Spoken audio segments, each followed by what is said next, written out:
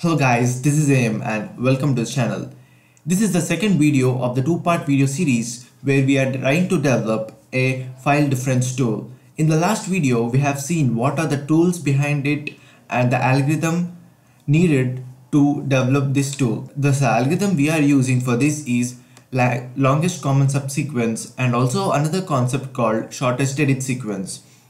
We have also seen how we have developed the algorithm from a naive recursive program to a, a, dynamic program. So in this video, we will try to put our knowledge to the practice and convert to code. So this is the output that we have been seeing since the last video and it's the time to develop this. This file difference tool is completely on web.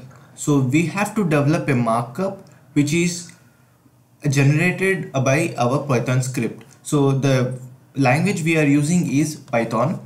So let me show you the code. So this is the file difference script. First, let's look at the import statements. The first import statement is LCS, where our algorithm for longest common subsequence exists. And also, we are using yattag which is used to generate uh, the markup which we have been seeing on the web browser and also we are using web browser module to open the web page on the browser so let's now start by looking at the algorithm itself so this is the starting point for this longest common subsequence algorithm so we are calling the longest common subsequence method and passing two strings where we have to find the LCS characters. Whole algorithm itself can be divided into three basic steps.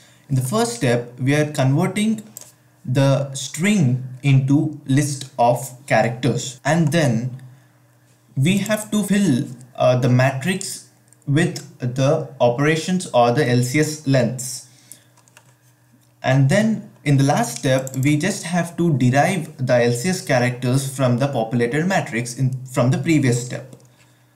So instead of me going line by line and explaining the code, let's debug this program and see the series of steps that, are taken place. So I'm pressing F8 to go to next line. So in here we have converted A to list of type. So therefore you can see the type as list and then we are declaring two variables LCS length and directions which are our actual two-dimensional matrices. So as I commented here LCS length is only for development purposes because in our application we do not require the length because in our application we do not require the length itself. Rather we require to find the shortest edit sequence. Therefore we are good with the directions where directions is the matrix where we will be finding from where the particular cell has come from as we have seen in the ending to the last video. There are many references to the last video. I suggest to pause this video, go to the last video where I'll be linking in the description below and come back. Therefore, you will have more knowledge what I'm telling about. So now let's get back and we are calling fill dictionary with operations. So the main purpose of this is where so the main purpose of this method is to populate the matrices. So this is just simple uh, for in for loop where iterating over length and plus one because as you see in the last video as well we have two extra column and a row for 0 and zeros right so this same thing we are doing it here and in the directions we are mentioning it as e as empty and in the second else statement we are checking if the characters are same. If the characters are same let's map with the last video. If the characters are same we are getting it from the diagonal and adding plus one. So similarly we are doing it here and storing it into the particular cell. And in the direction matrix we are noting that that particular operation is a diagonal operation. And the same and the same if the elements are not equal we have to find if so either of up or left are greater and then we need to perform the appropriate operation here.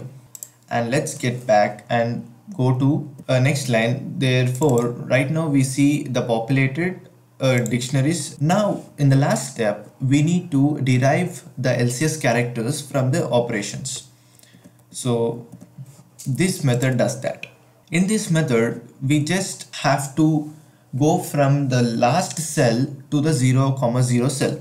So that is what we are doing it here. This is the base case for that. And all we are doing it is we are following from where the particular cell has come trying to reach 0 comma 0 cell. If you are not able to understand this i suggest you to go to the last video and see the algorithm itself because this is just a code walkthrough so we are appending the operations here. In the operations we are this is for user sake. We are doing what we need to perform at what time. And this is the keyword where these keywords are used in the file difference tool.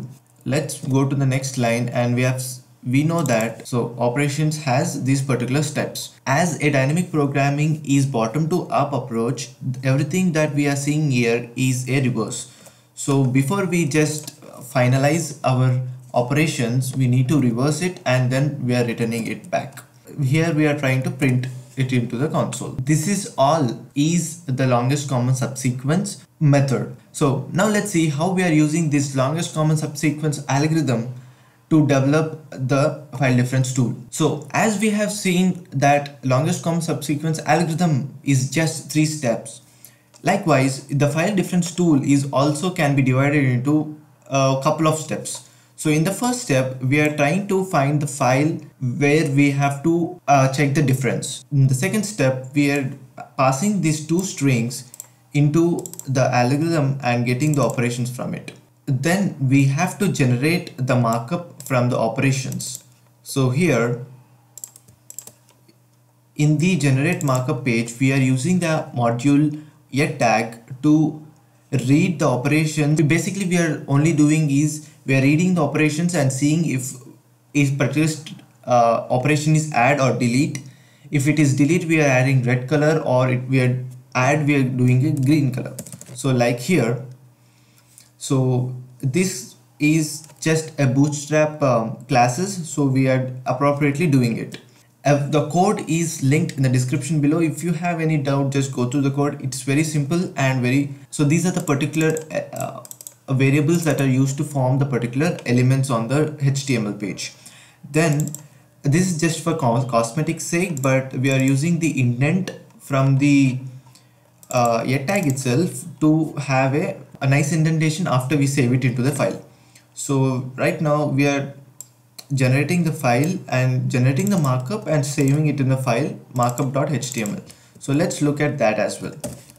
Markup.html. So as you can see, this is the actual HTML page that we haven't written at all, but it is generated automatically from the code itself. So in fact, we'll try to delete this one so i'm deleting this whole content so there is nothing in markup.html now and uh, we have two text a and text b right? So let's see them.